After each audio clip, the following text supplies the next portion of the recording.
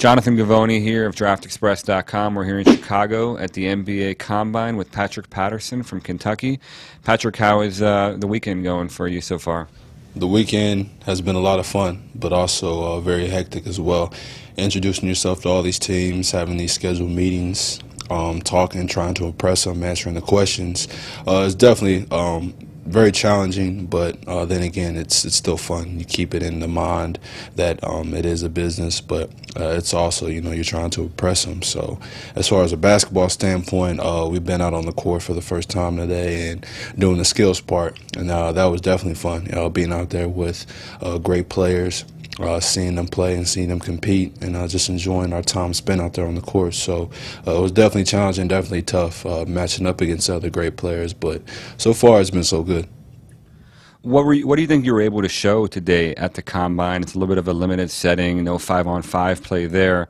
Do you think that you were able to show NBA GM stuff that they hadn't seen about you during the season?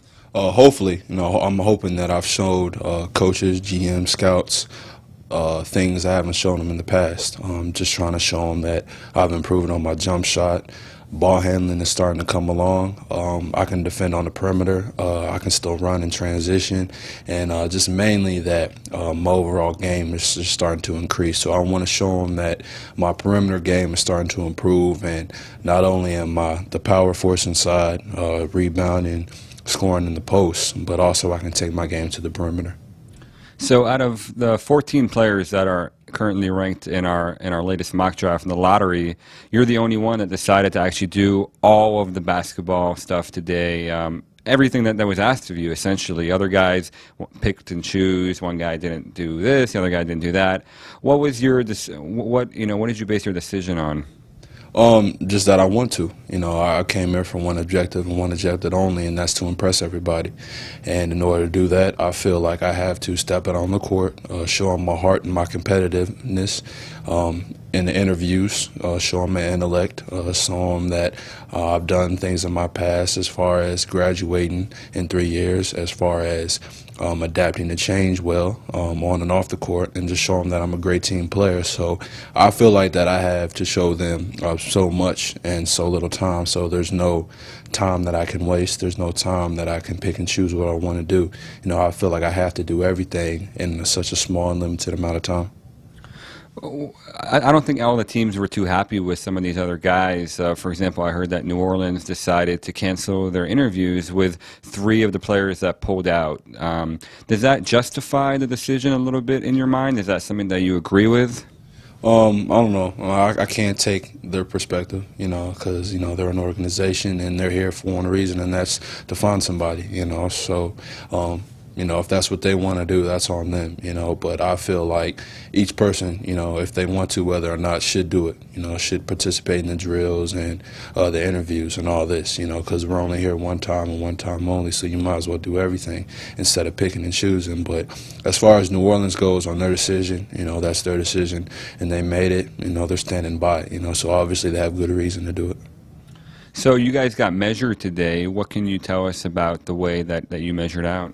Um, as far as my measurements go, um, six eight without shoes, uh, six nine, six nine and a quarter with shoes on, uh, weight two thirty five, uh, wingspan about seven foot two, maybe seven foot two and a half, and um, you know that was it. So so far it's it's been good. Um, I was comfortable with it. I knew that I was six eight without shoes on, you know, and hopefully that I didn't shrink any. Hopefully I could have grown some, but uh, I'm comfortable with everything we went through, and uh, also we did body fat percentage. I forgot about that, and you know that came out to I think about 5.4, 5.6. So all in all, I was satisfied with how today went.